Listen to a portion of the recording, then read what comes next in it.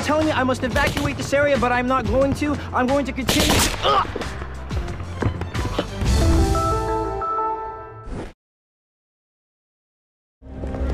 Dr. Sanders? Dr. Sanders, wait. The First Lady wanted you to have this as a token of your gratitude.